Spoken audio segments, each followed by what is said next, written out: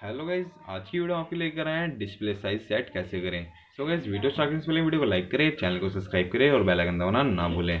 So guys video start करते हैं। तो गाइज़ सबसे पहले आपको फ़ोन की सेटिंग ओपन कर लेनी है। फ़ोन की सेटिंग ओपन करने के बाद आपको नीचे आना है। नीचे आने के बाद आपको साउंड डिस्प्ले का ऑप्शन आता है डिस्प्ले ओपन कर लेनी है। डिस्प्ले पे ओपन करने के बाद आपको नीचे आना है। नीचे आने के बाद आप देखते हैं डिस्प्ले साइज़ डिस्प्ले साइज़ पे क्लिक करें। डिस्प्ले साइज़ पे क्लिक करने के बाद आपको नीचे आना है। नीचे आने के बाद कैसे हैं डिस्प्ले हमारा लार्ज है। तो वैसे आपको इसको डिफ़ॉल्ट पे करना है। आप डिफ़ॉल्ट पे कर सकते हैं। स्मॉल पे करना तो आप स्मॉल पे कर दीजिए।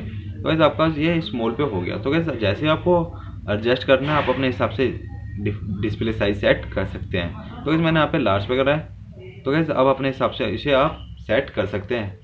सेट कर सकते हैं। तो वैसे वीडियो अच्छी लगती है वीडियो को लाइक करें चैनल को सब्सक्राइब करें और बेल आइकन दबाना ना भूलें। थैंक्स फॉर वॉचिंग वीडियो मिलते हैं नेक्स्ट वीडियो में। Tata bye bye